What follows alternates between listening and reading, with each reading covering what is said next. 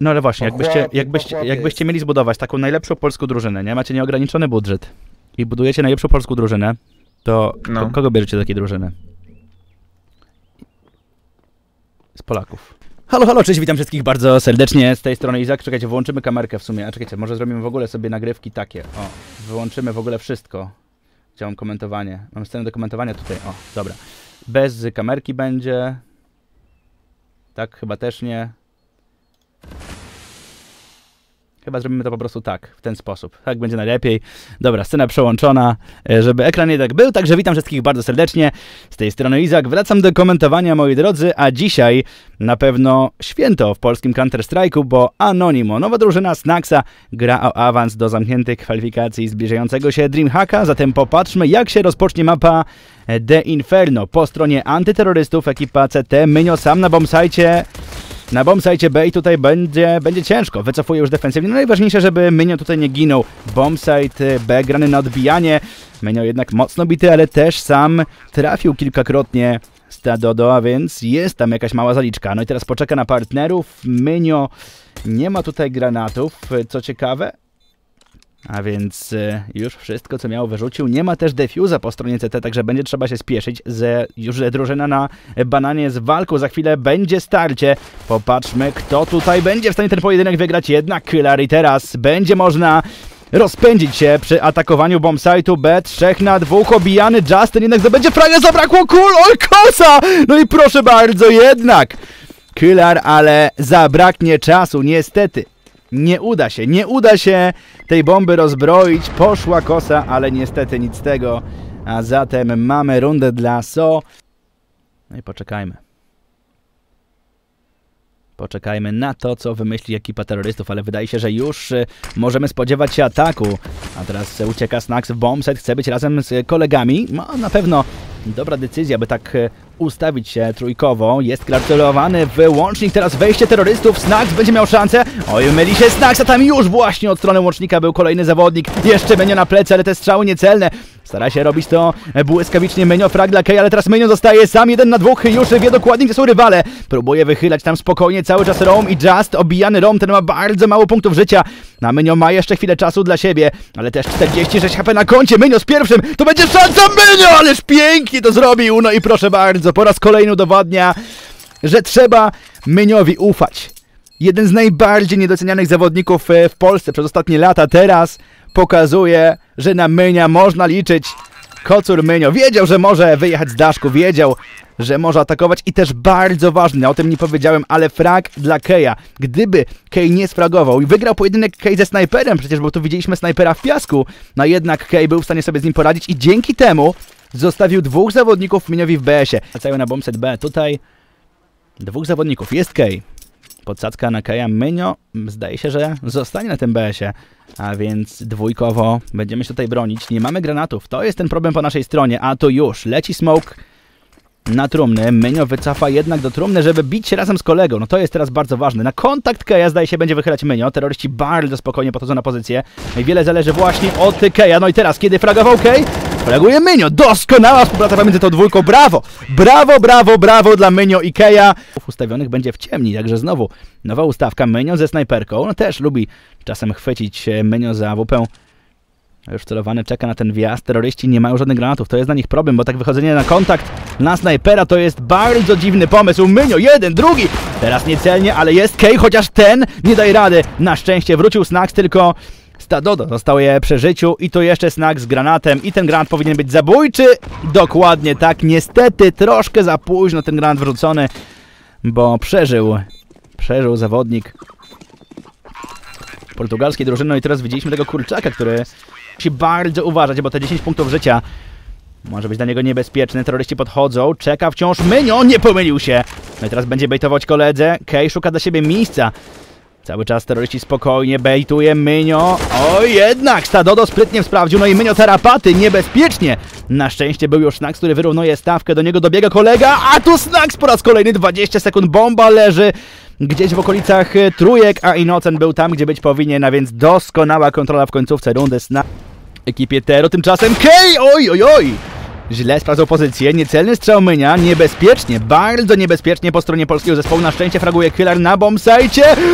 Mynio, terapaty, oj, musi teraz bardzo uważać. Już Stadodo podnosi M4 po poległym Keju. Mynio jeszcze się broni, rzucony Mołotow, oj, niebezpiecznie Mynio po raz kolejny, teraz bez zooma. No i już zajmuje pozycję. Mynio, no nieprawdopodobne. Być może tego też potrzebował, właśnie. Bo już Wiśle Kraków robił roboty, już Wiśle Kraków był na pewno wyróżniającym się zawodnikiem, ale kiedy dołącza do najlepszej drużyny w Polsce, bo myślę, że tak można o Anonimo w tym momencie powiedzieć, to być może dało mu jeszcze więcej pewności siebie. No to być może po tej rundzie, po tym strzale trochę tej pewności siebie stracił, bo zabolało z pewnością. No i znów Snacks przy odbijaniu bombsite'u B. Wcześniej z Innocentem, teraz z Killarem. I zobaczmy, czeka. Czeka na snajpera. Oj, Snax! Jak on to trafił, nie wiem. Jak on to trafił, nie wiem, ale Snax po raz kolejny! No nieprawdopodobne! Co ten Snax, kiedy odbija bombsite B? No nie myli się, nie myli się Snax. Jak najdłużej, ale... Oj, tu jeszcze podsadzka. Snax nad tym dymem. Szuka eliminacji. Snax przed szansą. Snax! Oj! Spada z głowy kolegi, który ginie za sprawą Mutyrisa. No i niestety, mamy trzech na czterech. Deagle Innocenta, jeden frag zdobyty, ale już od długiej ma Multirisę i o tym doskonale wie. I za chwilę może na niego zaskoczyć Arki, który jest tuż, tuż nad nim na balkonie. No Innocent, oj nie mogę na to patrzeć, tak musiało być, po prostu tak musiało być. Jeszcze Minion z tego smoka, Mijanka z rywalem! Zobaczył jednak Minion swojego przeciwnika i dzięki temu jest dwóch na dwóch. To jeszcze jest do zrobienia. Tu powinna gdzieś leżeć broń. No jest AK-3 na boilerze. Jego podniesie Kej, pójdzie od dywanów. Co prawda nie mamy defuza, ale mamy czas. To jest 35 sekund na rozbrojenie tej bomby. Właściwie 25 sekund na odbicie, bo przecież nie mamy defa, a tu piękny strzał w głowę prosto. Odmienia, flash rzucony na piasek. Tutaj, czy widział Kej? Nie widział, ale wie Mynio, gdzie jest rywal. Znowu wszystko w rękach Mynia, podnosi snajperkę do tego pojedynku. No to jest dopiero pomysł od Mynia, chociaż w końcu zmiana broni. Gdzie jest rywal? On jest w piasku, już wszystko wie Mynio, coraz mniej czasu od Mynia, jednak trafił! Zdąży, zdąży Mynio, nie było muzyki, jeszcze wsłuchałem się na chwilę w grę. A tu proszę bardzo, kombinował z tą snajperką. Co, i tu może być niebezpiecznie. Innocent, oj, tupnął. Tupnął przy sianku. Arki to na pewno słyszał. Killer, oj, też niebezpiecznie się robi. Smoke na mały piach. Tutaj stat tego smoka będzie wychylał Mutiris. Na szczęście zdążył Killer wycofać. I już wszystko powinni wiedzieć nasi. Snax rotuje z Diglem. Och, tutaj namierzył Mutirisa. Wie Snax jednak, że teraz nie powinien wychylać. Zamykana jest cała akcja. Zobaczmy, co się dzieje. Teraz Innocent w piasku. Już atakują go terroryści. Innocent doskonale jednak za sekuracją partnerów. No i proszę bardzo, co znaczy kontrola banana? Skupili zawodnika w piasku, mieliśmy wciąż jednego zawodnika gdzieś w bombsite, bo to był killer i jeszcze jeden zachodził od pleców. No tutaj terroryści nie mieli nic do powiedzenia, oni byli kompletnie zamknięci. Mimo tego, że mieliśmy pistolety, to tutaj dwa albo trzy fragi przynajmniej były zdobyte w plecy e, przez zawodników CT, także doskonała kontrola. Oczywiście przydał się ten e, frag na początku rundy, bo była przewaga od samego, od samego początku, kiedy Mynio w locie trafił z MP9. No ale to jest 7 do 7, no i Snax na środku. No, miał być tam flash na Snaxa. Zdaje się, że ten flash nie trafiony. Frag za frag, to błyskawicznie. Snax odpowiedział po trafieniu Roma. I tu jeszcze Snax e, przy smoku. Ale zmienia broń na Akacza. Poczeka na Keja. Czyżby chciał z tego smoka wychylać Snax? Czyżby chciał skontrolować to, co się dzieje?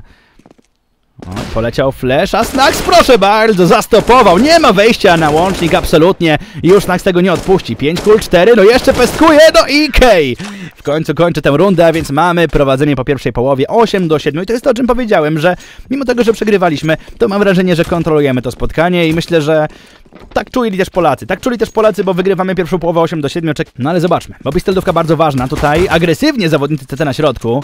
Nasi jednak momentalnie na midzie, ale tu Rom bardzo dobrze sobie radzi aimowo. Kolejne flesze lecą, ale świetna kontrola na środku ekipy CT. No teraz pora, żebyśmy odpowiedzieli. Killer nie odpuszcza, goni swoich rywali. Czy to będzie atak na środek? No tak to wygląda, ale tutaj już jest czwórka zawodników CT, to wejście będzie niezwykle ciężkie, chociaż Stadodo złapany, no na wykroku.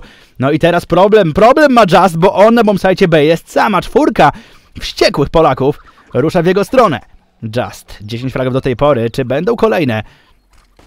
Nasłuchuje, już wie, że to właśnie tutaj sobie podchodzą terroryści. Kylar namierzony, trafia Just. Udało się, ale tutaj już trzech Polaków, no i Innocent w wyskoku, ale już są zawodnicy CT od Banana, teraz chowają się za smokiem, tam będzie luka po prawej stronie, no i to może być problem. Jeszcze nie plantujemy. Teraz, Kylar, nie, to Kay pilnuje pozycji, Kay zjadł eliminacją, Kay po raz kolejny. I tu tylko Arki, chociaż ten jeszcze sobie radzi, Innocent chowa się, nie ma kularki, nie mógł go trafić długo, bardzo długo Snags, w ciemni. Innocent wie wszystko. Arki, wie gdzie ma dwóch rywali, Snags jednak już obiega, żeby być bliżej partnera. Innocent w końcu wychylił 33 HP. No nieśmiertelny jest ten Arki. Zabijcie go w końcu, no i udaje się Snacksowi.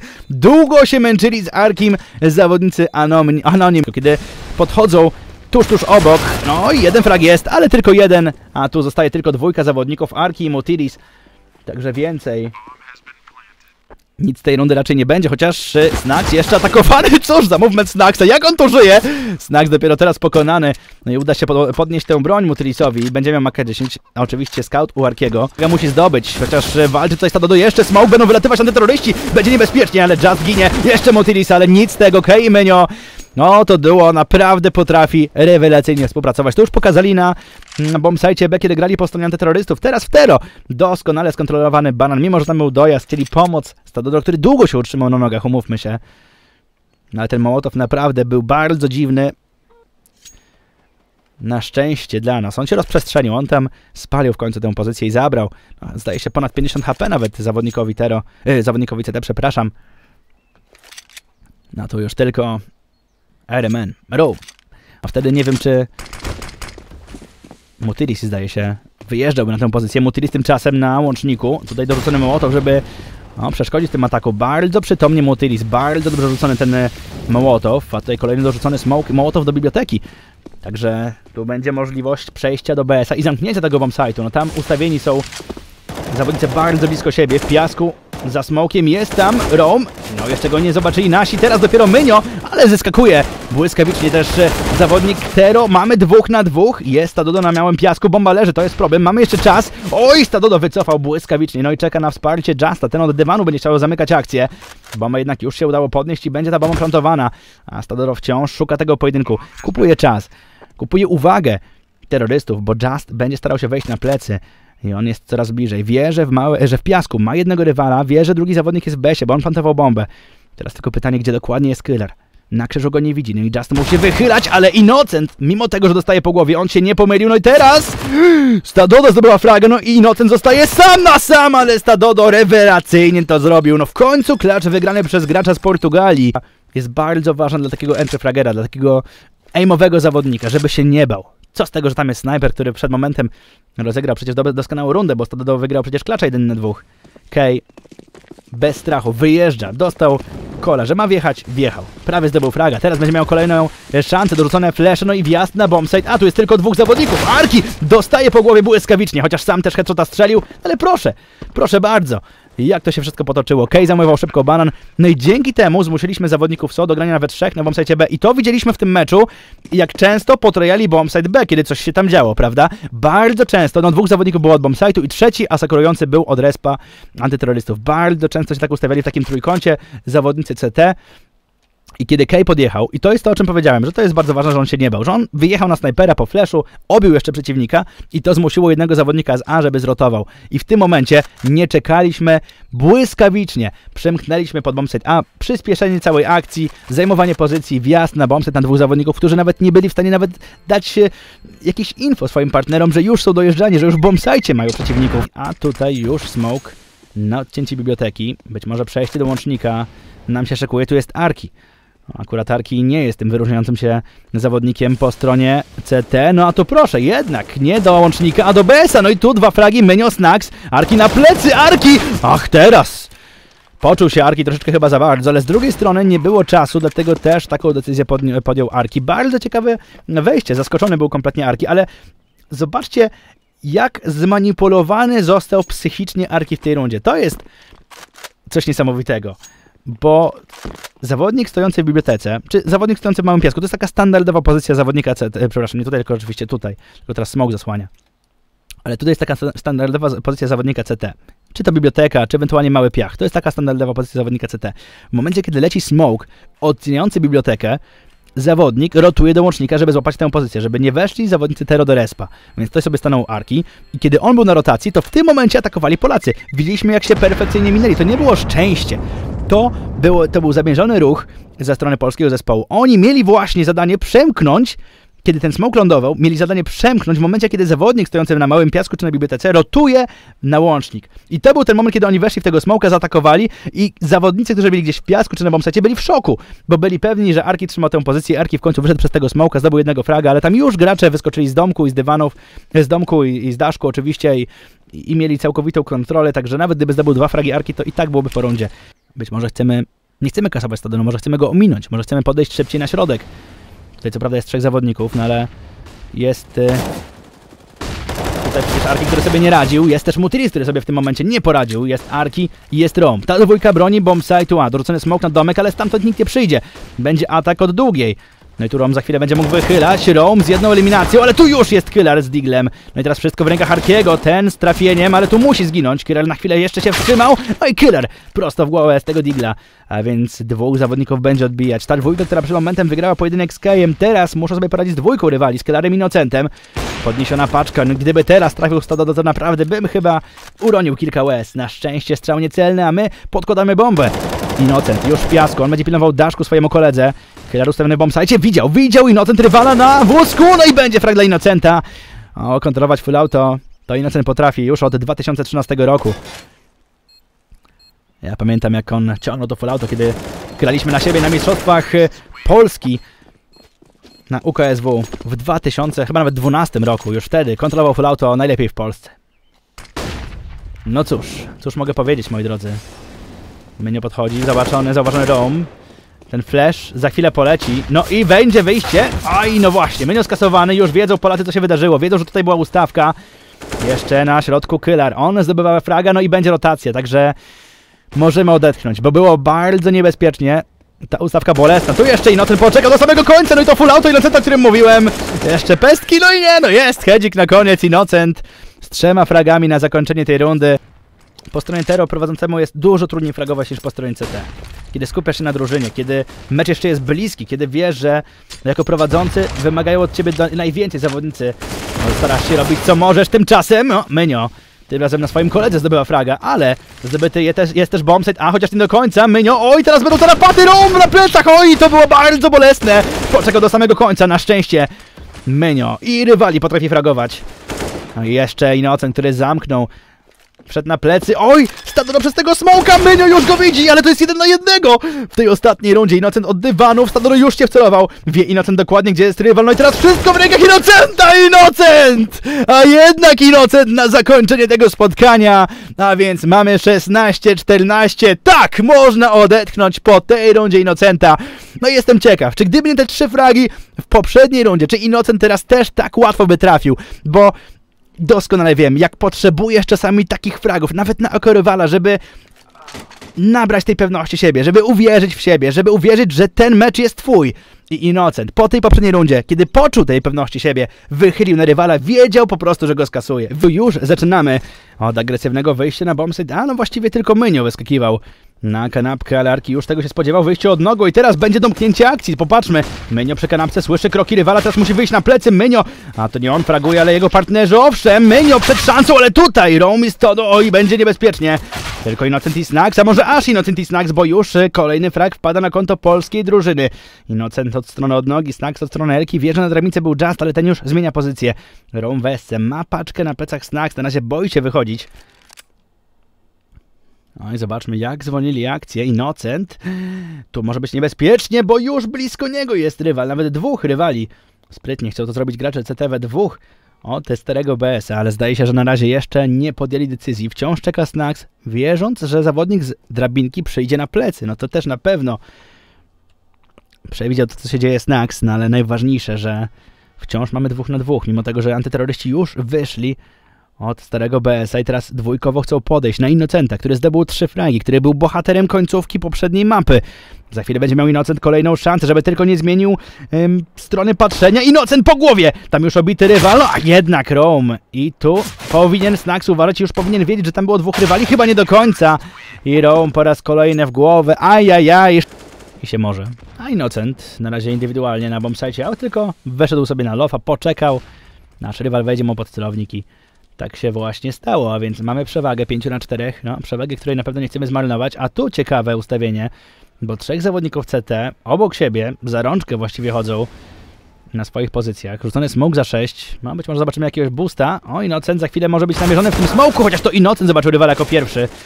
No, mają stado do zawodnicy SO, ale polska drużyna ma Innocenta. No i proszę, pomylił się w końcu snajper ekipy antyterrorystów. Dorzucony granat. Czy już wiemy, że tam jest dwóch zawodników? Zdaje się, że tak. Bombę podnosi Killer, no i będzie musiał ją podkładać. Odeski, Rome. Coraz bliżej Mutilis, który szuka dla siebie miejsca, ale Innocent dobrze ustawiony. No i Innocent po raz trzeci, drugi jego hatryk w tym spotkaniu. Fragów Innocent ma 7. Także to głównie on fraguje, jak widać. Dwa trafienia.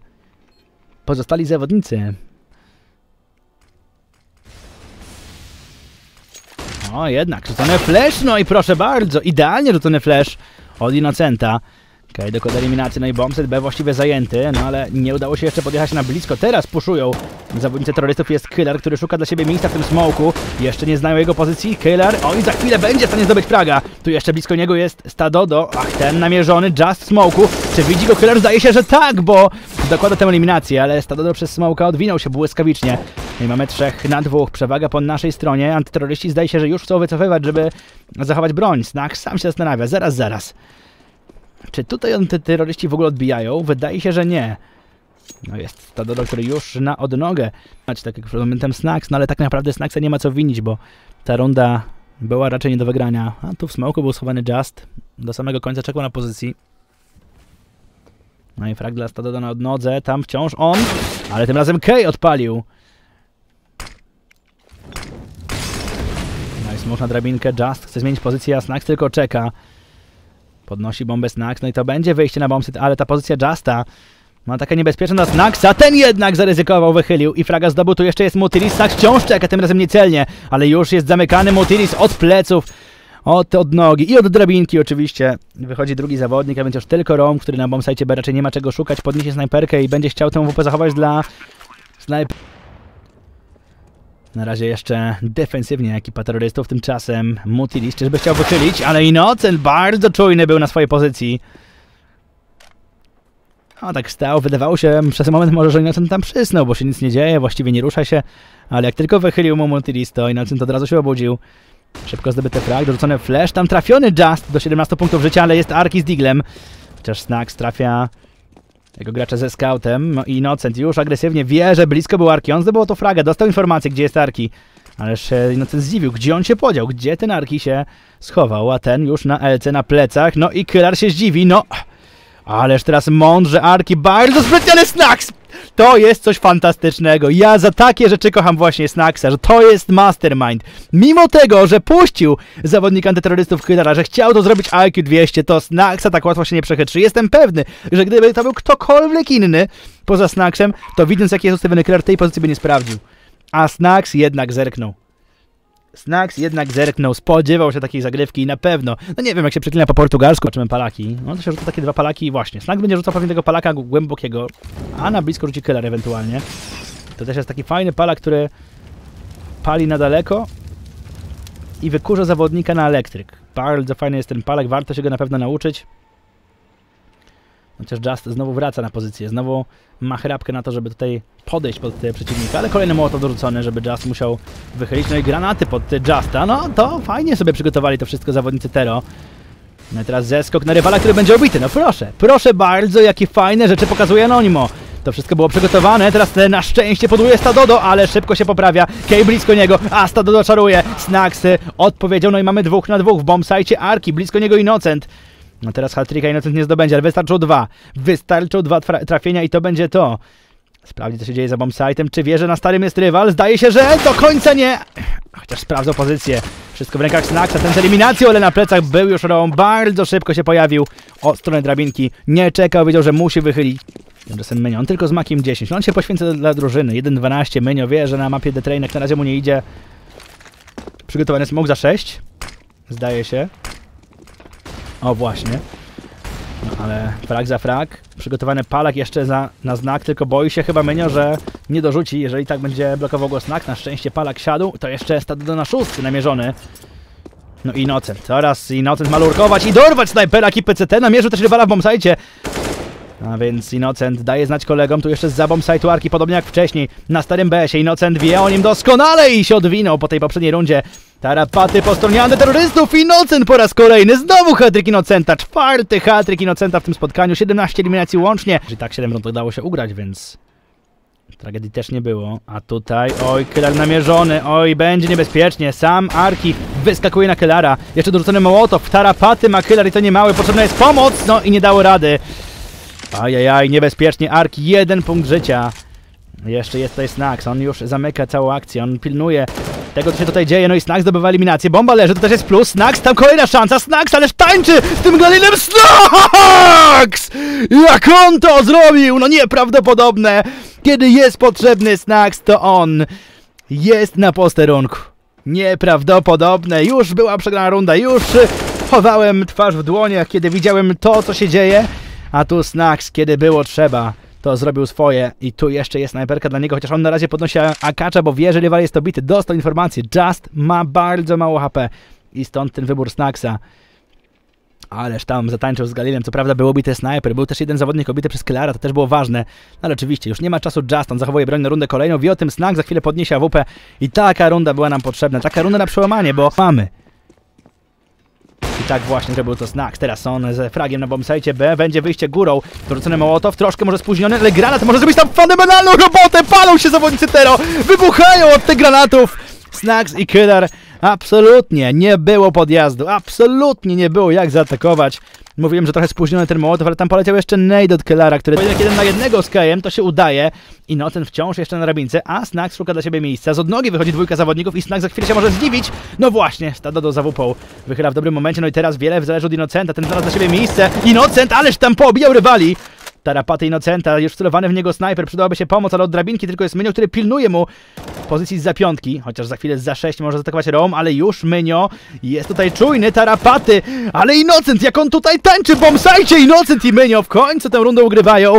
Na razie wychylał, poczeka na Kellara, ten sprawdzi mu, co się dzieje na znaku, do Eski zdaje się, że chce wejść Mutilis.